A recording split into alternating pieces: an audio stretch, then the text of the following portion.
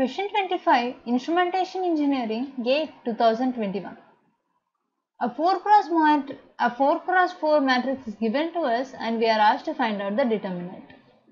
For a detailed lecture on this basic concept, please refer Module 5 Lecture 8 Matrices and Determinants by Professor S. De, Department of Chemical Engineering, IIT Kharagpur. Let's have a look at the basic concepts of risk determinants to solve this problem. Consider a 2 cross 2 matrix A which is given by A, B, C and D. The determinant of this is given by the value of A multiplied by the minor determinant minus the value of B given by the minor determinant. So, in this case it is AD minus BC. Consider the matrix B which is a 3 cross 3 matrix A1, B1, C1, A2, B2 and C2. This is A3, B3 and C3. The value of this is given by A1 into the determinant of B2, C2, B3 and C3 which is nothing but the minor of A1 plus the value of i minus j into b1 i minus j corresponds to the row and the column numbers of this element b1 so it is i minus j into b1 multiplied by the minor determinant. Let me just denote this as ib and jb ib1 and jb1 so that it doesn't get confused with the other element. Plus ic1 minus j of C1 into the element C1 followed by the determinant of, of that minor which is A2 B2, A3 and B3. So simplifying all of this we will be getting A1 into B2 C3 minus C2 B3. So here it is 1 minus 2 which is equal to minus 1. So this is minus b1 into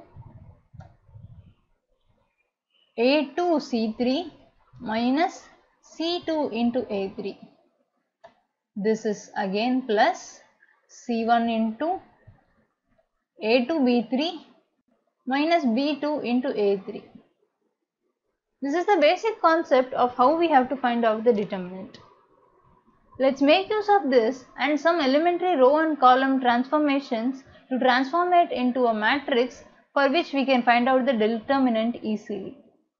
This is a 4 cross 4 matrix.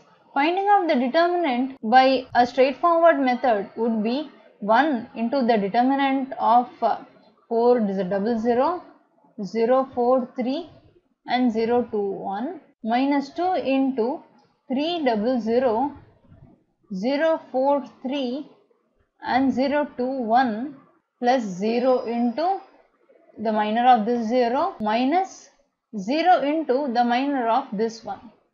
So this is going to be a long process. We will simplify it by some elementary row and column transformations. The matrix M is 1 2 double 0, 3 4 double 0, 0 0 4 3 and 0 0 2 1. We can make a simple column transformation wherein C1 implies C2 minus C1. So now we will be getting this as 1 1 0 0 2 4 0 0 0 0 4 2 and 0 0 3 1. We can do the same thing to the columns 3 and 4 as well. Column 4 implies column 4 minus column 3 which is 1 1 0 0 2 4 0 0 0 0 1 1 and it, the last column is 0 0 3 1. Finding a determinant of this 4 cross 4 matrix would be even more simpler when we make another row transformation. We can now make the transformation row 4 implies row 3 minus row 4 and row 1 implies row 2 minus row 1.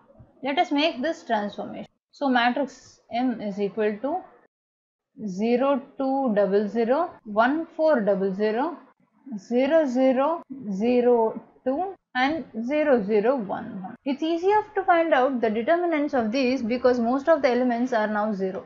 So the determinant of this matrix is going to be 0 into the minor followed by 0 which is just 0 minus 2 into the determinant 1 0 0 0 0 2 and 0 1 1 this is equal to minus 2 into